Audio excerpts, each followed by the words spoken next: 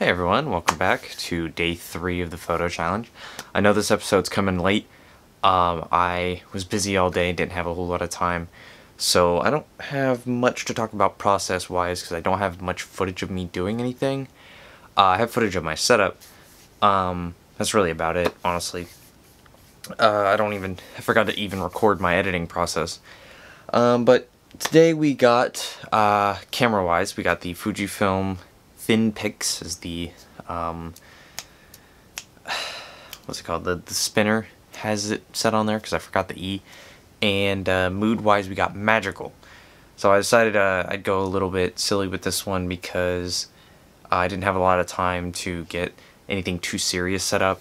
So I just threw something together. Um, and this is our result.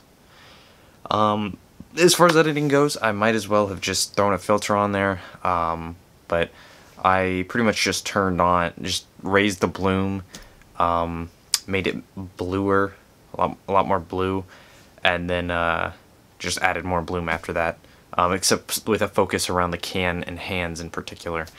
Um, so, yeah, it's a real simple edit for what we have today, um, but that's, that's it. Uh, yeah, so uh, thank you for watching, and I will see you tomorrow where I will hopefully have done a much better job and have a much more interesting video to, to tell you all.